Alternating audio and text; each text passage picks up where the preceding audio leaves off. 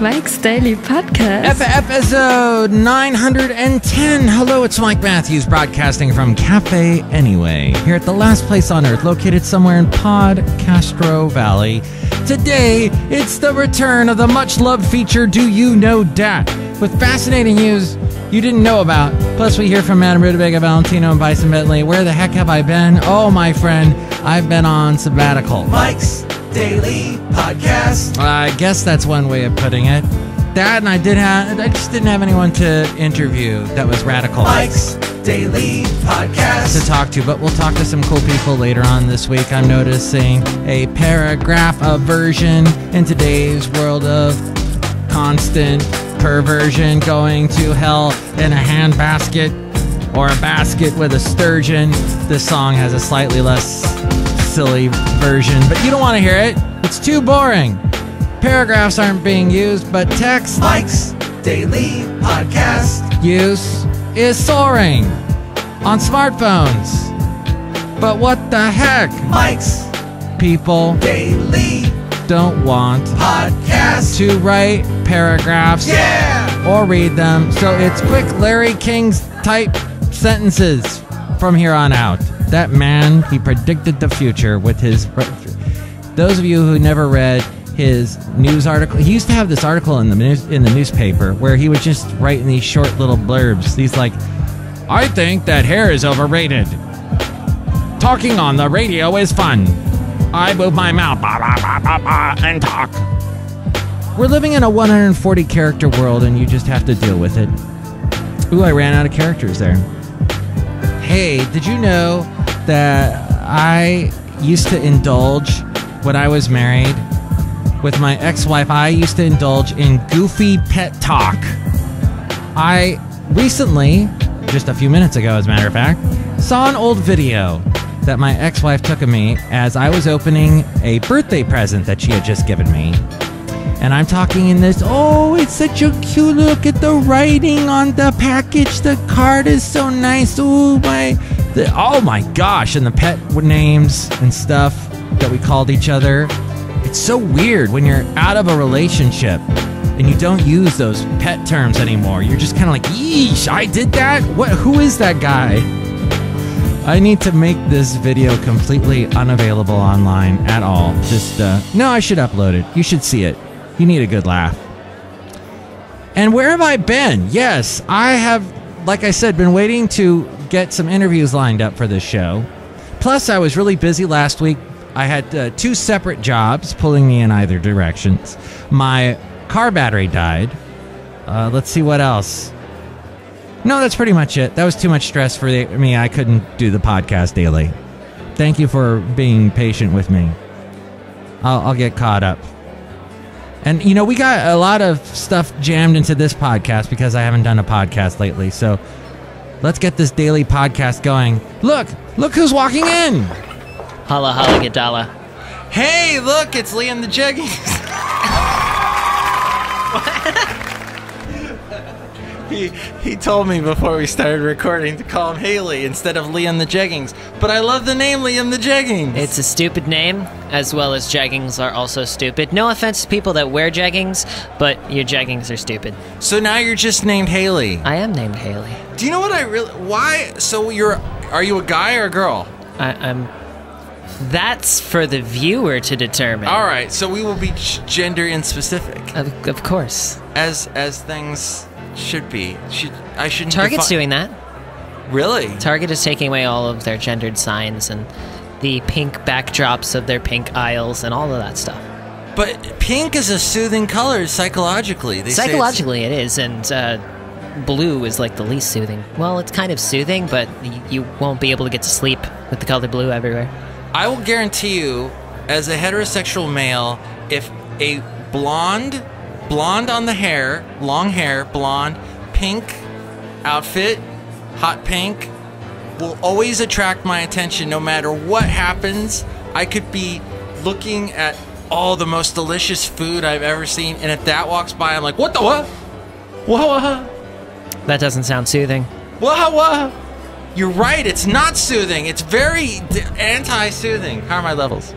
So, Haley, it's great to have you here. I love that hot pink dress you're wearing. Thank you. Um, I picked it out myself with my girlfriend. But don't you think that's gender specific? If you're wearing a dress, you're saying what you are, right? You're the dress exists. I'm gonna wear it. All right. Okay. So the the dress, clothes don't define us. Clothes Uh, can define us. As as Haven't you seen what Avril Lavigne wears? Uh, That defines her. It does. She's really punk. Oh, okay. She's not. Does anyone punk. remember Avril Lavigne anymore? I remember Avril Remember, Lavigne. this podcast appeals to an audience that's hip and now and new and just like me. No. Are you implying that Avril Lavigne isn't what's in nowadays? She still she had a big impact on you, huh? Not really. I started listening to her like two years ago. What was your favorite song by her? Mm, Sk8er Boi. Um She, She could make it a lot more obvious, by the way, in that song. Can I make it any more obvious? A little bit. Da da da da. If- what more can you say? A lot. What more can I say? Yeah. Yeah, she was a fun little firecracker person. Mm-hmm. Uh, you know what? I see a delay dump button here in Cafe anyway. Should I touch it? What would happen? I'm going to say nothing. Would we fall through a trapdoor in the um, floor Cafe anyway? We could. In that case, I'd say press it. Okay, I'm gonna press it. I don't have a sound effect for that. Boop. Look who else just walked in. Hello, Michael Matthews. This is Madame Rootabega. Und hello, Haley. How you? Sorry, I was yawning dramatically. So, do you want me to predict your future? Yes. Oh, wow, this is going to be interesting. I predict that you are going to buy a dress today. You're going to buy a dress today? I could buy a dress today. You're going to buy a dress, Haley. I have really wide shoulders, so finding dresses is difficult. And the, the hairy chest you have. I don't is it- have a hairy chest. That is a lie. So, you did get a haircut, though, recently. I did get a haircut, and I'm planning on coloring my hair as well. I once got a haircut where I look like a gay ant. Oh! I am Okay. a gay ant. You have a gay ant? I am a gay ant. Oh, you are? Okay. Uh, uh, no judging or anything. Gay ants. Does that mean that you make cookies for nice people because you're an ant? No, I, don't know I, what to, I'm uncomfortable. I just kind of crawl into your house, and then I pick up small crumbs of food, and I crawl out of your house again. Ah, okay. There was a song when I was a kid on one of the cartoons. I forget what it was, but there was a song that went, Robot Ants, Robot Ants. Remember that song? Someday there'll be robot ants. You're looking at me as if I have completely, I've lost you.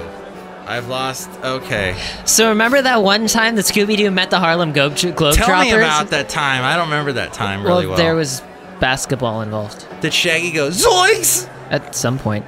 I think. And Scooby Stop me if I'm wrong on this. that This Uh-huh. is probably an outlandish uh, like like assumption, but probably somewhere in that episode, Velma lost her glasses. No! I know. I have yet to someday marry Velma. Someday. I will. mar- Who played her? The girl that played her in the movie was hot. The uh, live. Who, Rob. Black? Now you're just saying names of people you produce their shows for. That's true, but he did dress up as Rob Black at one, uh, as Velma for Halloween at one time. He did. Yeah. That's funny. So, Oh. if, if any of you listening to this know who Rob Black is, that's some not him up. insider information because I think he actually wore it on his TV show. He's a popular TV personality Kind that of. that we kind of work with. We, we, you definitely work with. You I do. Produce a show. Uh, I was going to bring up some topic today about oh texting.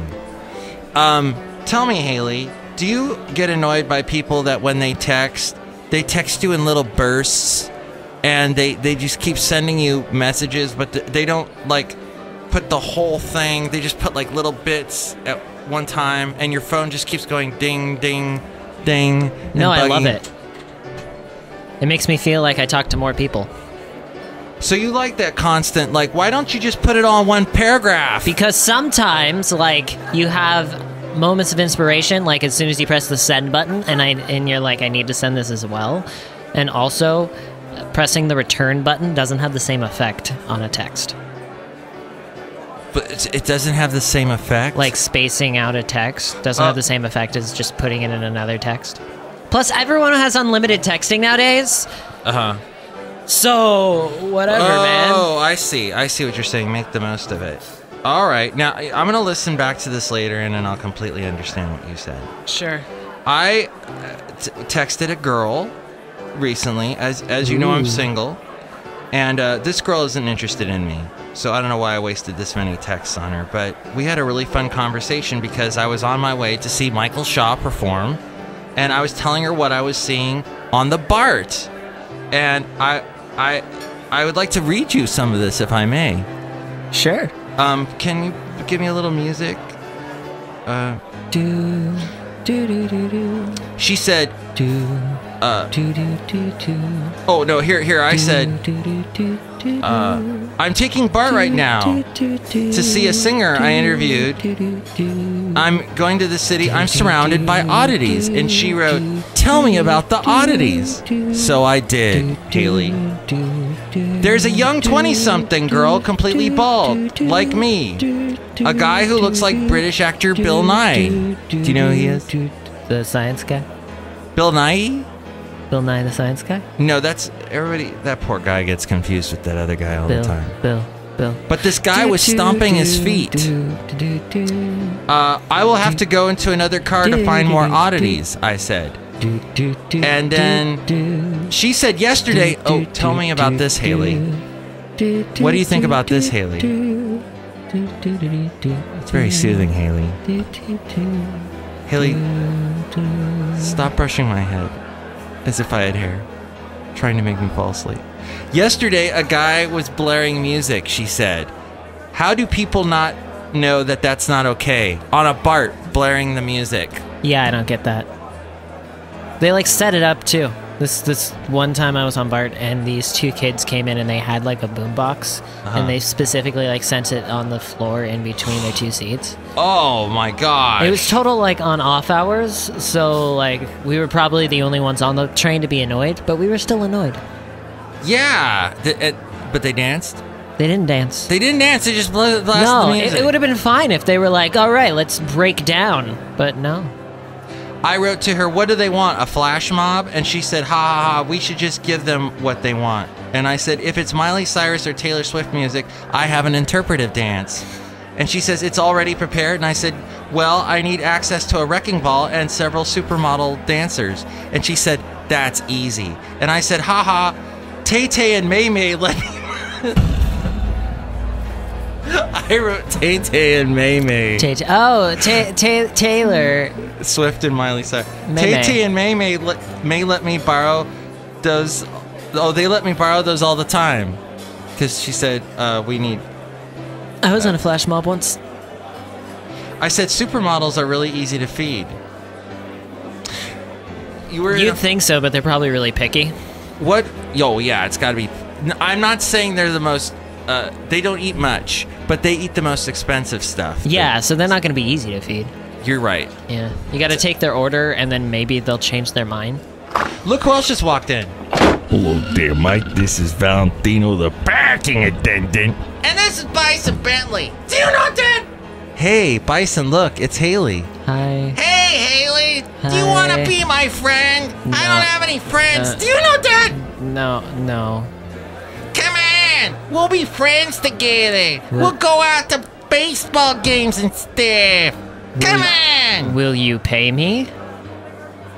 No, I don't have any money. Neither you do, know that? I. You guys are gonna be. You you guys have become fast friends. I. I feel we have. The thing about the supermodels. Wait, oh, flash mob. Flash mob. Yeah, I was in a flash mob once. And how did that go? Um, the entire flash mob situation, like, uh, we did it a couple times because I was in a choir, and so occasionally, um, Wait a minute. Let me ask you. Hi, this is Valentino. First time caller, Hey. long time listener. Yeah. Haley, tell me, when you was dancing, did you catch fire and go up in like a flash of smoke there? No, no, All right, we- let me no, ask you one more question, if I may. First time caller, long time listener day. I, I appreciate. I would like to ask you this question, Haley. Yes. I find myself oddly attracted to you. But my question to you is, Okay. they uh, did you flash people because it was a flash mob day? No, it's a flash mob because they just suddenly appear and they start to dance. We did throw Right, flash Haley? grenades, but that's really the only way we could get anyone to stick around was just by Oh. knocking knocking them out and stunning them. You realize, Valentino, that Haley may, may or may not be a, a woman. Well, I'm confused. I don't know what I need to sit down and breathe into a bag day. All right, he's going to deal with that. And That's fine. Be fine. That's Okay. fine. That's not the first time I've gotten that. Tell me more about your flash mob. So, uh, yeah, we were in the choir and we didn't actually do any dancing or anything, but we were an a cappella choir. So it was like, oh, we're waiting at the airport, let's sing. Or, you know, oh, we're here and we don't have anything else to do, let's sing. Or, oh, we don't have permission to sing inside the Lincoln Memorial. Let's sing inside the Lincoln Memorial and hope we don't get arrested. What, what did you sing in the Lincoln Memorial? Well, I was at a Christian college, so it was like Christian songs. Also What- patriotic songs because it was Washington, D.C. Christian songs like Baby, Baby, I'm taken with the notion Yes. to love you with the sweetest of devotion. Basically, Except anything- imagine that with like a hundred a cappella voices, Amy Grant, right? Anything Amy Grant sings is Christian. pretty much. Uh, actually, we did some skillet as well. Like, What does Skillet do? feel like a monster? I, I feel like a monster. You looked like you were going through such pain when you were singing just then. It's skillets. I, I Uh. go through much pain when listening to them. Uh, was the Plain White T's a Christian band? Hey there, Delilah, don't you know this? I don't think so. How about- Kansas was a Christian band briefly. Kansas? Kansas. No. Yeah, right after Dust in the Wind, like their next album was primarily Christian. How about Jars of Clay? Jars of Clay, their first album, is the finest, in my opinion, the finest example of acoustic rock ever, like made by man. Even if it is entirely And Christian. if I spend it Yes! 40 Yes! days in a yes! God, I love that album. lift me up I still love when that I'm album. suffering. Lift me up. Jesus is good to me. Lift me up. See, you got it. I have. Mike, stop that day. You're making us all laugh. Hee hee. Yeah, you dancing and singing Christian rock. Do you know that? Um, My chair is squeaking a lot. I hope you can pick this up.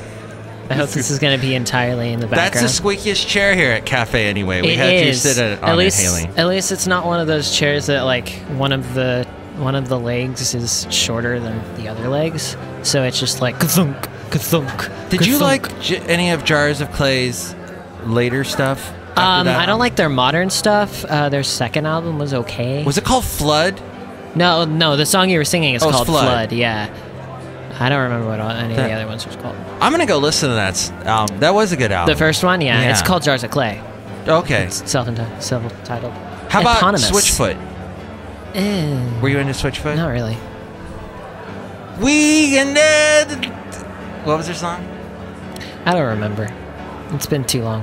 Uh, uh, Um, I, I remember listening to like Wow 2000.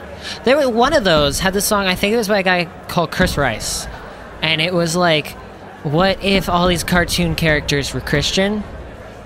And it was basically like every single catch line of like the big Hanna Barbera or whatever the cartoons were at the time, uh-huh. like the classic cartoons, except like at the end he'd just uh, say "Ouya" as in like "Hallelujah," so it was like "Scooby-Dooby-Doo-ya," and it was really Uh, weird. Are you talking about Veggie Tales? No, no, Oh. VeggieTales is an entirely different thing. Okay. Um, Very Christian then. It's very Christian. Uh, my favorite VeggieTales is the Christmas one where they had the silly songs with Larry, where uh, Larry uh, is giving away all the cookies. It's really funny. Oh, all right. Trust me on that. Okay. Yep. Well, I guess we've learned a lot today from you, Haley. Dun, dun, dun, dun. Um, and you enjoyed. Uh, did you want to ask M- Madam Rootabega anything? Are those dreads real hair? That is my real hair. And I know I d- just didn't wash my hair. It's dreadlocked now. That's gross. but you can touch it. It's magical. Will you pay me? I will pay no one, and ooh, I'm All not right. gonna touch your hair then. Um, I think we learned a lot today. Thank you, Haley. Yeah. Yeah, clapping really hard is fun. So, what do you think about the world of texting? Do you text one little thing at a time and just, or do you write in full paragraphs? And do you like Christian pop music? And we were meant to live for so much more. I dare you to move. I dare you to. That's Switchfoot. Okay. Uh, you can email me, Mike's Daily Podcast at gmail.com. We read your comments on the section emails from email and your common, not so comments.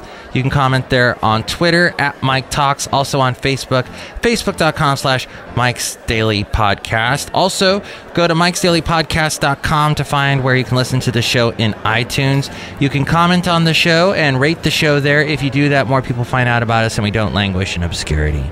We are also on YouTube, SoundCloud, TuneIn, Stitcher, Podomatic, Mixcloud, Spreaker, Player FM, and Ameristream Live. And if you want to hear a huge swath of country music, I am on a country internet station called Country Crossroads every weekend from 11 a.m. to 4 p.m. Pacific time. A link to that at mikesdailypodcast.com.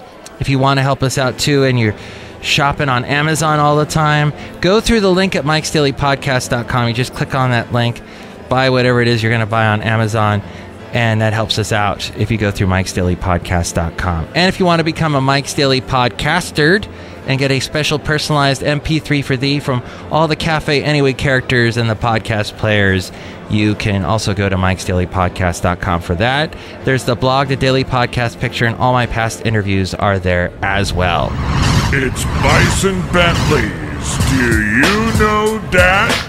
Hey, this is Bison Bentley, and Mike Matthews has a couple of stories that'll make you want to ask yourself, Do you know that? Do you know that? Do you know that? Do you know that? One, two, three, four. Come on, baby, say you love me. Five, six, seven times. One, two, one, two, check, one, two, check, check, check, one, two, one, two, one, two, check, check, check, check, check, check. That's what we say when we're checking to make sure we have levels, as we say, that we're actually recording something. Uh, but yeah, one, two, three, four. Miami Sound Machine, Gloria Estefan, who's all happy about the whole Cuba thing, I bet. Or not. Maybe she's Marco Rubio disgusted. Whatever.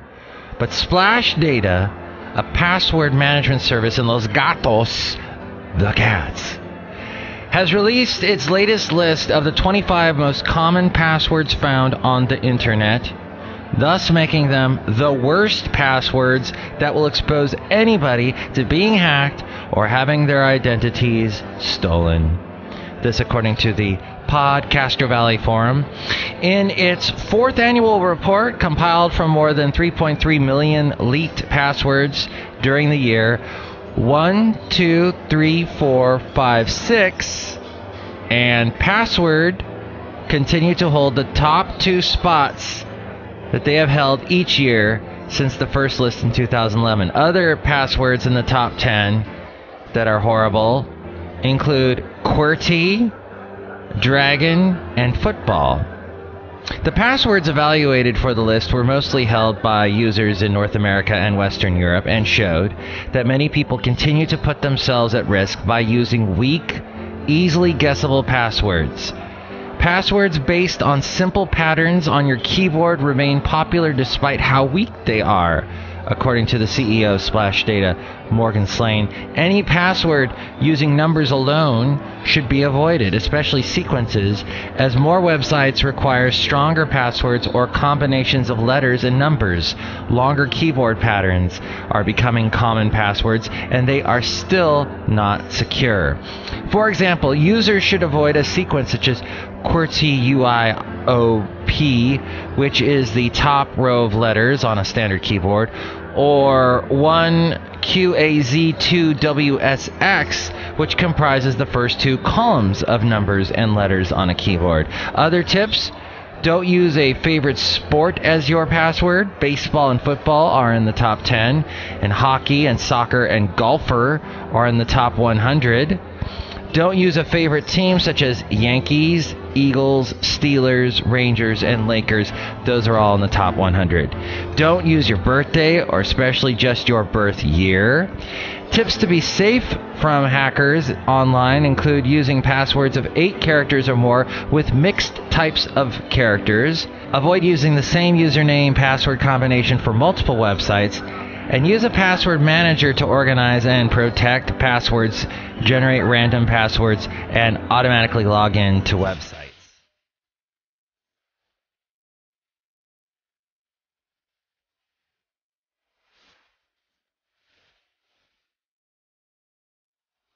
Oh, it's a brave new world we live in.